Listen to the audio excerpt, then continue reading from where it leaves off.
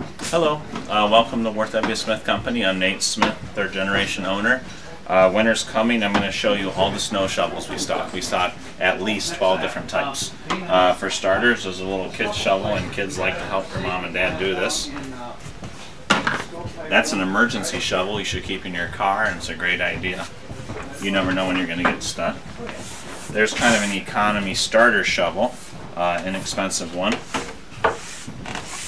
There's my personal favorite. That's a heavy duty plastic one without the metal wear strip. That's a 21 incher and that's 11.99.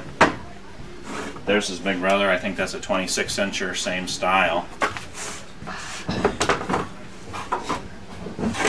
For people that like the metal wear strip, there's a nice one with a metal wear strip. I don't like that because when you hit a crack in the sidewalk, you come to a screeching halt. There's the one. Uh, it's called a back saver shovel. You you lose a little bit of leverage, but it saves a lot of wear and tear on your back. So a lot of people these have become increasingly popular. And some people still like real metal snow shovels. There's a real steel snow shovel. It's pretty heavy, heavy duty as well. And there's the same thing in aluminum. So a lot lighter, but won't have the lifespan of that steel one. And then these are grain shovels, agricultural grain shovels, but a lot of people use these as snow scoops. There's an aluminum grain scoop,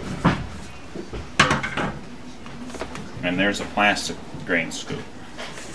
And then our largest shovel is that extra wide with a U-shaped handle. You can almost, if you stay on top of it, you can clear snow quick with this. You can't let your snow get too deep. And most of our shovels are Garant brand, which are made in Canada. They're a very premium brand, and uh, we sell dozens, probably hundreds a year. So if you are looking for a shovel, stop in and see us. Thank you.